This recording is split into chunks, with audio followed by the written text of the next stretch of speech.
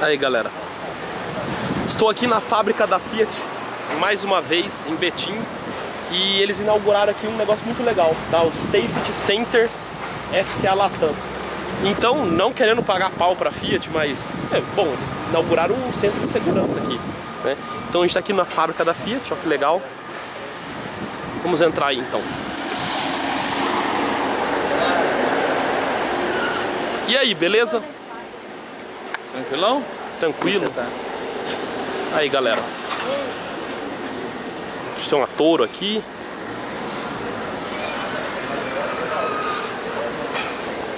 Então, provavelmente eles vão, provavelmente não, com certeza eles vão falar de segurança aqui. Então, bem legal isso aqui.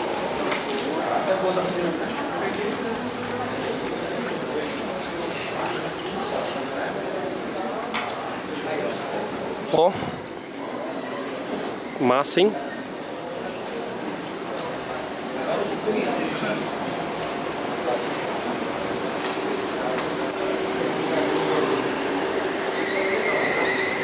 Aí, galera. Vai ter um crash test ainda, ainda já já. Vocês vão ver como é que é que funciona o crash test, tudo. E aí, vou mostrar pra vocês, fiquem ligados. Olha o escritório. Vamos lá.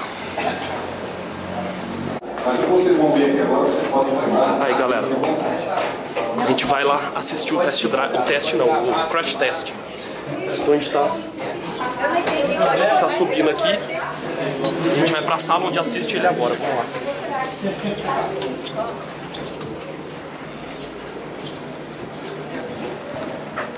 É só nessa sala mesmo? Aí vão ter as duas salas. É, né, aqui. As duas salas, pode ser aqui ou aqui. Ah, eu vou nessa então. Gente, a visão vai ser mais ou menos a mesma coisa. Aqui o cara vai estar de frente. O preço naquela Então, galera, olha só. Essa é a pista, ela tem mais ou menos 130 metros. E a pancada vai ser aqui, ó. Esse bloco tem não sei quantos toneladas, um milhão de toneladas esse bloco. Diz que não mexe.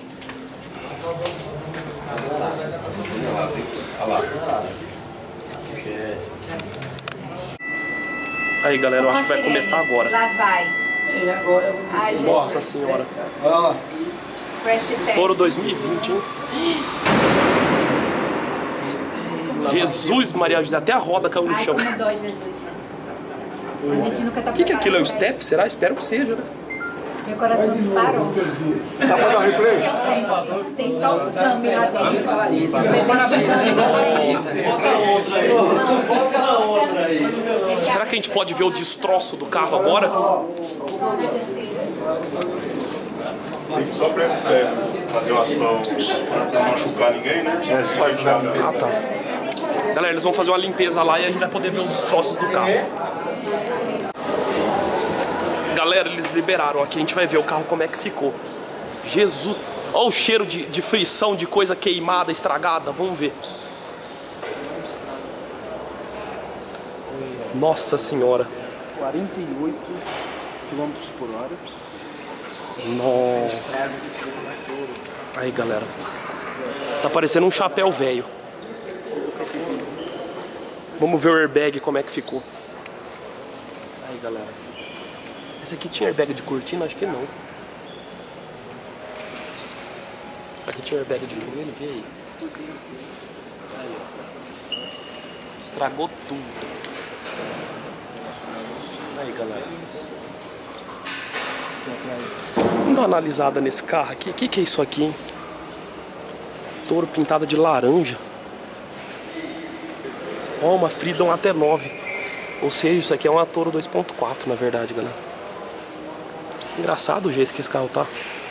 Gente, vamos só, só explicar um pouco o que foi esse teste e depois a gente tem a presença da Thaís que também pode complementar com relação à instrumentação e telemetria do sistema. Silvio, favor. Então, gente, um teste full frontal, 48,3 km por hora, que é o que está na legislação. Ele é um frontal que vocês, logicamente, observaram sem uma barreira deformada, uma barreira fixa. É, é um teste homologativo, ok? Onde a gente está aqui, logicamente, interessado em entender as deformações que o veículo sofreu aqui durante esse acidente. Então é importante que vocês vejam que é a célula de sobrevivência do veículo. Então, os pés abriram, protegeram o motorista e o passageiro, né? Para você ver que todas as células, esse cabelo de sobrevivência das portas, Esse escapamento assim.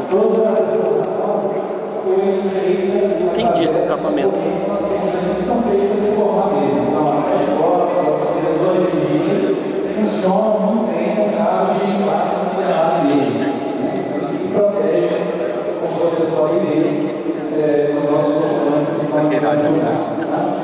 Dilson, essa Toro é zero quilômetro?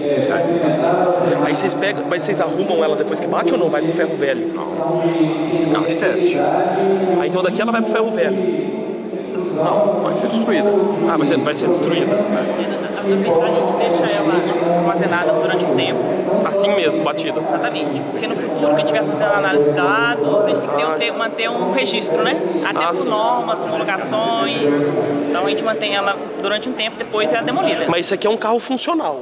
Carro funcional. Porque eu vi que é uma Toro 2.4 Freedom automática de 9 marchas e ela é um carro normal, como se fosse um carro de rua. Exatamente. Ela não é um carro feito pra bater não, tipo assim, sem nada. Ela tem tudo que teria um carro normal. Sim, mas como não tem como laboratório, laboratório homologado, a gente precisa registrar. Como assim registrar? Lá daqui a dois anos, saber ah, qual, qual dia, qual foi o teste que vocês realizaram no laboratório. Então, a gente, ah, é esse aqui. Esse carro, ele é todo registrado pelo sistema que ativa. Apesar de gente ter batido pra gente ver isso aqui, vocês provavelmente vão tirar algum proveito disso aqui. Ah, Não, provavelmente não, mas você vê, ah, que dia que foi? Que tem um carro que a gente está desenvolvendo. Aham. Como é que eu vou diferenciar ele desse teste? Entendi. Entendi. Pra saber que nesse dia, Hã? Ele parece diferente porque eles pintam ele justamente para poder perceber É. a deformidade, a filmagem, tudo. Ah, então ela é pintada nessa cor por causa disso pra aí. imagem, exatamente. Pra imagem, que legal. É mais fácil você diferenciar. A roda pintada daquela cor ali também. Legal. Obrigado pelas, por tirar as dúvidas aí. Aí, galera. Então, realmente... Ela tem até chassi, galera. Tem chassi no vidro. Inclusive é H o chassi dela. A Toro não é tão nova assim não, viu, galera? É tipo 2016, mais ou menos. Fica à vontade, eu não ligo que ninguém passa na frente da minha câmera, não. Só não entendi esse escapamento pra baixo, galera. Nossa, me ajuda aí. H é, H é que ano, hein? F é 2015, G é 2016, H é 2017. É 2017 essa Toro. Tem um H ali no vidro.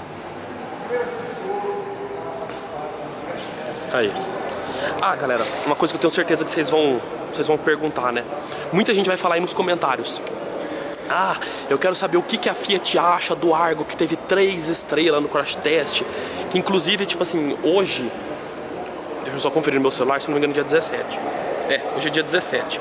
O crash test foi ontem do Argo, que, que o Latinha Nicap fez e que deu três estrelas. A gente pergu perguntei pra eles por que, que deu três estrelas. Mas eles falaram que o Argo ele tem as, os aços da carroceria tão bom quanto o da Toro, que a Toro, se não me engano, já é 5. O Toro, Renegade, Compass, tudo 5 estrelas, tudo nota máxima. E o Argo deu, deu 3 estrelas. Aí eles falaram que o Argo deu 3 estrelas porque não tem equipamentos como assim airbag de cortina, airbag de joelho, que também diz que, diz que essas coisas colaboram pra nota, entendeu? Então eles falaram, bom, a Toro tem 5 estrelas porque tem airbag de cortina, airbag de joelho, controle de não sei o que, ASR, não sei o que, ASP, um monte de coisa. Diz que o Argo não tem essas coisas, por causa disso baixou a nota dele. Mas eles falaram que o aço da carroceria do, do da Toro, Renegade, diz que o Argo Diz, que, diz que até o mob diz que é tudo o mesmo aço, eles falaram. Diz que o que muda é os equipamentos, que isso vai tirando as notas. Agora, se isso é verdade ou não, eu não sei, mas ah, bom, é a montadora que tá falando, galera. Aí, bom, adianta vocês quererem contestar, né? É a montadora que falou. É, mas eu achei, eu, eu, de cara eu achei estranho também. Falei, poxa, como é que pode a Toro ter cinco estrelas? E o Compass até fiz essa pergunta para eles lá e eles responderam dessa forma. Eles falaram que a Toro foi o primeiro carro que eles fizeram é, com, com aço nobre, digamos assim. E que diz que o Cronos, Argo e Mob tudo a mesma coisa, diz que muda equipamento. Por questão de concorrência, porque eles falaram, tipo assim, ah, por exemplo, o Polo não tem airbag de cortina, pra que, que vai pôr no Argo, né? Então, tipo assim, Aí por causa disso aí. Agora, aí você me fala, ah, mas o Polo é 5 estrelas. É, eu devia ter falado isso aí pro cara, né? O Polo é 5 estrelas sem airbag de cortina. Aí sei lá. Bom, não sei, galera. Eu tô passando o que eles passaram pra mim, beleza? Então tá aí a Toro batida. Uma Toro 2.4 Tiger Shark. Freedom.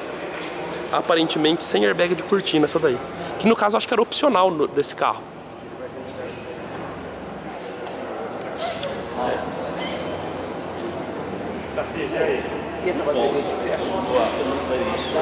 Essa aqui não tinha o. Ou ela tinha? Acho que tinha o retrovisor fotocromo sim.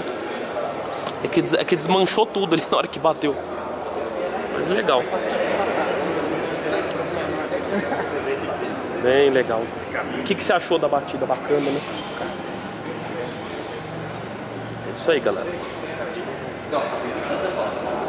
Adorei a batida. Gostou? Sim, bacana.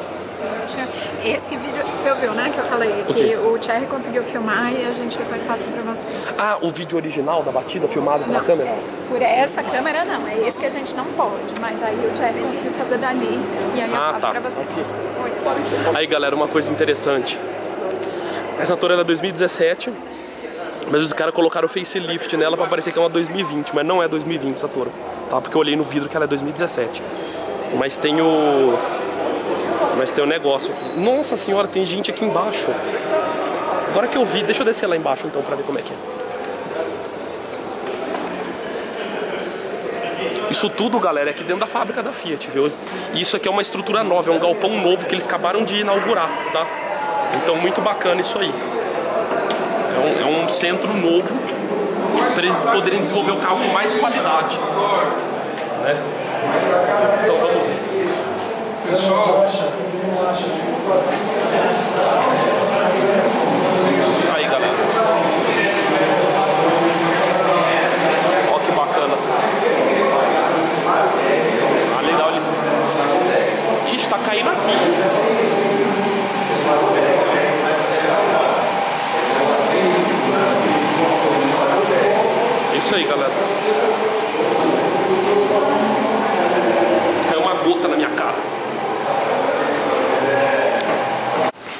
Então, galera.